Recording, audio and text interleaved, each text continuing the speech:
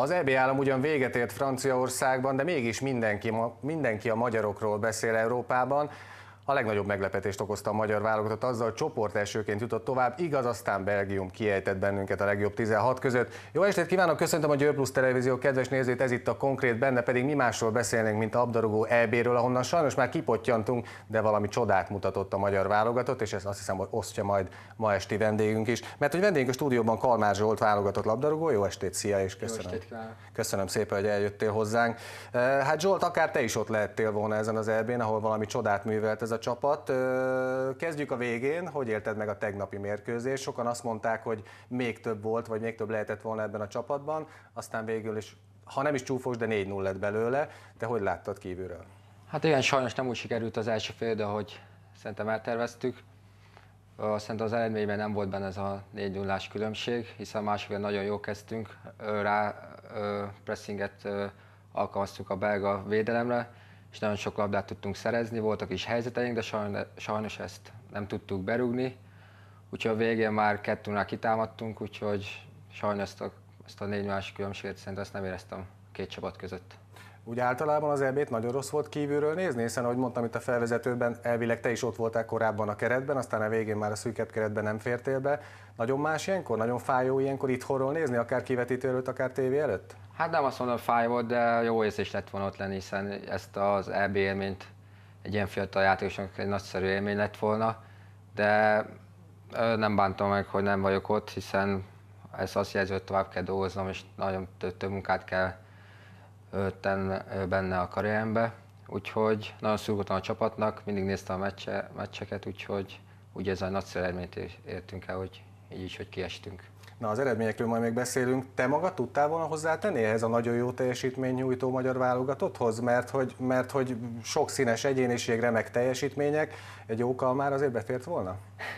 Hát igen, meg biztos ö, próbáltam volna magamat adni a legjobbat, legjobb tudásom szerint, úgyhogy ö, amit én tudok, azt szerintem tudtam volna alkalmazni az eb is. Amikor az EB-re készültünk, hogy a Ben Stork nem fogalmazott meg konkrét elvárásokat, ő azt mondta, nem szó szerint idézem, de valami ilyesmit mondott, hogy a VB selejtezőre a, a, a csapatnak a magját szeretné letenni, és lehetőleg minél tovább jutni, hát ez bőven sikerült túl teljesíteni. Én magam és sokan nem adtak volna egy fityinget sem azért, hogy tovább megyünk ebből a csoportból, mert hogy elég erősnek tűnt a csoport. Te hogy láttad ezt kívülről? Hiszen ott volt egy Portugália, ott volt egy Ausztria, akik végnyerték a, a selejtező sorozatot, és aztán ott volt még egy Izland, aki szintén kemény diónak számít. Benne volt reálisan nézve a pakliban, hogy akár csoport elsőként is tovább lépünk? Hát össze megmondom, sok emberrel beszélgettem az EB előtt, hogy mit várnak, hogy mit gondolok én, és mindenki azt mondta, hogy szerintem kimegyünk nyaralni, aztán jövünk is haza. Én mindenkinek azt mondtam, hogy ebből a, csoport, ebből a csoportból tovább tudunk jutni, ha együtt és csapatként fogunk működni, és ez szerencsére be is jött. Úgy érzem, hogy egy nagyszerű meccseket játszottunk, szerintem az eb mi, mi játszottuk a, szinte a legjobb focit, amit elnéztem itt a meccseket, úgyhogy le a kalap a fűk előtt, nagyon gratulálok nekik, és nagyszerű eredményt értünk ezen az elben, úgyhogy nincs, nincs szégyenkezni valunk. Ugye picit nyögvenyelősen, nem is picit nyögvenyelősen jutottunk, hiszen pótselejtezőn vertük Norvégiát. Hát az alapján nem ezt vártuk volna, és tényleg, mintha, és ezt külföldi szakkommentátoroktól veszem ezt a kifejezést, mint hogyha a magyarok tényleg megtanultak volna focizni, és meg is mutatták, hogy jól tudnak focizni. Szerinted megleptük ezzel az európai meg a világ sajtót? Mert én úgy láttam az osztrákokon is, például meg a portugálokon is, hogy tátott szájjal nézték, hogy hoppá, hát a magyarok tényleg tudnak focizni. Hát igen, nagyon, nagyon nagyot fejlődött a focink, hiszen nem, nem csak a labdákat, hanem próbáltuk kihozni, és nagyon látványos focit is játszottunk, de szerintem a magyar játékos is ö, ö, alkalmas volt, hogy technikások is tudnak focizni, de most úgy érzem, hogy Ben Strock és Dárdő Pál is azért fejbe és önbizalomig is összetette a csapatot, és ez nagyon sokat számít, egy, nagyon sokat számít a labdarúgásba. Ugye a labdarúgás csapatsport, és mindenki végig azt mondta, hogy mint csapat domináltunk nagyon jól. Ha ki kéne emelni embereket, vagy néhány embert a csapatból, te kit emelnél ki, aki még a a jónál is jobban teljesített, mert hogy Király Gábortól volt hangos az egész világ sajtó, de nagyon sokat beszéltek Geráról, aki 37-38 évesen tényleg csúcsformában van. Neked kinek a játéka tetszett leginkább? Hát igen, ez, ez az egész csapat nagyon jó játszott, nem, nem volt egy gyenge pont az egész csapatban, de aki ki tudja emelni, az Gera Zoltán, hiszen az ilyen idős, vagy idős játékosként is nagyon nagyon ö, sokat szeret, futott, olvasta a játékot, úgyhogy nekem az a példaképem Gera Zoltán és nagyon sokat is tanultam tőle már most. Úgyhogy szerintem Gera Zoltán, aki így nagyon kiemelkedett, de hiszen Nagy Ádám, a Krezer, László is nagyon, nagyon, nagyon jól játszottak ilyen fiatalon az eb nem, nem voltak meglepődve, úgyhogy előttük a jövő.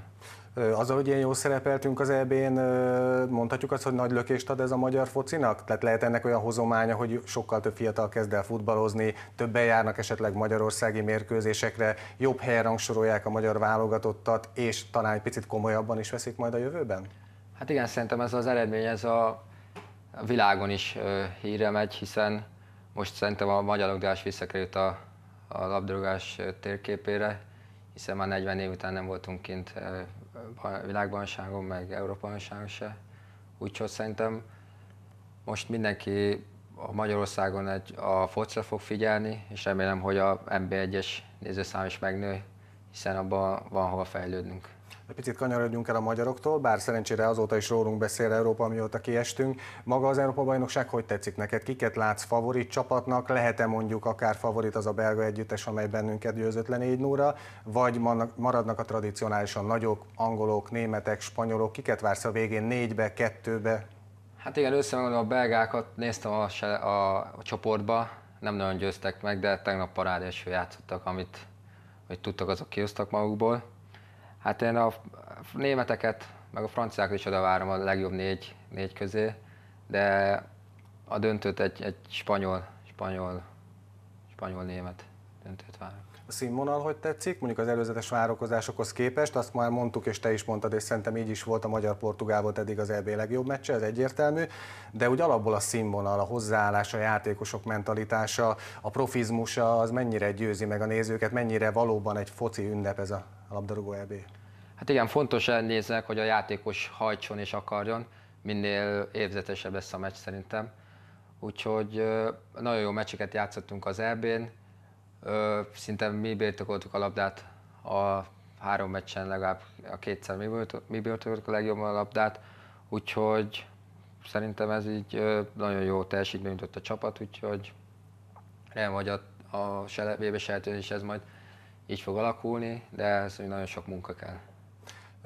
Ha már VB selejtező Kalmár Zsoltar, vagy Kalmár Zsolt nélkül, mire számítasz, mennyire lesz nehéz bekerülni, mert egy jó csapatba, egy jó mag mellé gondolom még nehezebb lesz visszakerülni a válogatottba, de hát ez rajtad is múlik, meg a szövetségkapitány is múlik, meg azon majd, hogy mennyit tudsz játszani. Hogy látod az esélyeidet a VB selejtezőn? Hát biztosan nehéz lesz bekerülni, hiszen most nagyon jó teljesítményt letettek az asztalra a fiúk, de úgy érzem, hogy van esélyem oda kerülni, ha folyamatosan játék lehetőséghez fogok jutni, és keményen fogok dolgozni, akkor szerintem meg fogom kapni a Ben az esélyt, hogy oda kerüljek a világbajnokságra. Ha már a jövő, ugye azt tudni kell, hogy te a Lipcse keretéhez tartozol, legutóbb a Frankfurtnál voltál kölcsönben, a Frankfurt, ha jól tudom, kiesett a Bundesliga 2-ből, neked pedig lejár a kölcsönadási szerződésed. Mi lehet a folytatás, mi lehet a jövő, hiszen ha minden igaz, akkor új edződ is van a Lipcsénél. Hogy alakulhatnak a következő hetek, hónapok számodra? Hát igen, jövő héten megyek vissza Lipcsébe, lesznek orvosi felmérések, tesztek, és utána kezdjük meg a felkészüléseket. Úgyhogy úgy gondolom, hogy ott fogunk kezdeni a felkészülést, és majd utána fogunk dönteni a jövőmről, hogy, hogy kelek a Lipcsének, vagy nem, vagy kölcsön adnak, úgyhogy még ezt nem tudom, hogy pontosan megmondani, de mindent megteszek, hogy ott maradjak és kezdőbe kerüljek a Lipcsei csapatba. Az előző idényed egyébként hogy sikerült a Frankfurtnál, mert nagyon jól indult a csapatod, aztán végén kipottyantak a másodosztályból, viszont elég sokat játszottál ahhoz képest, hogy korábban egy picit kevesebbet. Mennyire erős ez a Bundesliga 2, mennyire felel meg a mostani tudásodnak és formádnak?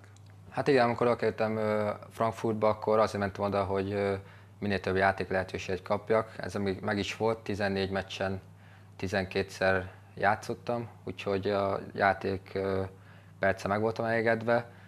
Hát igen, nagyon jól kezdtük a bajnokságot, azt hiszem 5-6 pontot szereztünk, akkor el is tudtunk menni a mezőnytől és a hátsó résztől, de sajnos volt egy hullámvölgy, és folyamatosan kaptunk, kaptunk a, kaptuk a pofonokat, úgyhogy ebből nem nagyon tudtunk kijönni, és sajnos Frankfurt az, vagy csapatunk kiesett a harmadik ligába, úgyhogy ezt nagyon sajnálom, hiszen, hiszen a nagyon jó meccseket is játszottunk, és volt olyan mérkőzés, amikor utolsó percben kaptunk gólokat, és így döntetlent értünk el, vagy kikaptunk. Úgyhogy a szerencse se volt mellettünk, de sajnos egy alakult, úgyhogy előre kell nézni. Az neked egyébként megoldás, mondjuk, hogyha Lipcsében nem férsz be a keretbe, de kölcsön adnak egy Bundesliga 2 csapatnak a megfelelő színvonal, az neked? Tehát mondjuk a magyar bajnoksághoz képest hogy képzeljük el a Bundesliga 2-t, mert az azért annyira nincsen szem előtt, annyira nem látunk bele.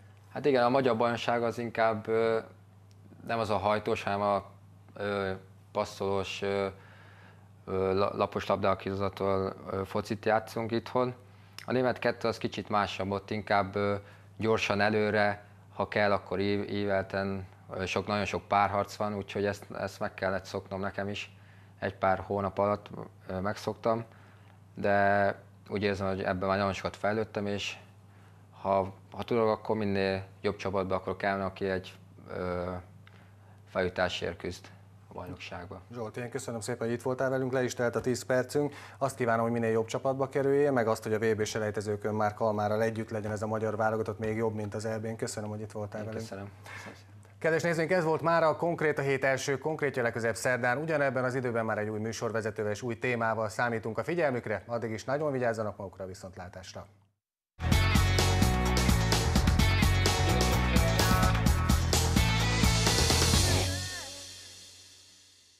A műsorvezető ruházatát a Carlo Benetti és a világmárkákat is forgalmazó Griff Collection üzlethálózat biztosította.